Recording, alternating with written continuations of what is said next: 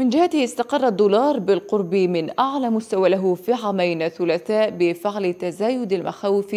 حيال التأثير الاقتصادي للإغلاقات التي تفرضها الصين لمكافحة جائحة كورونا إلى كبح جاذبية الدولار كملاذ آمن. ترجح مؤشر الدولار الذي يقيس أداء العملة الأمريكية مقابل ست عملات رئيسية بثلاثة عشر مئوية مسجلا أعلى مستوى له في عامين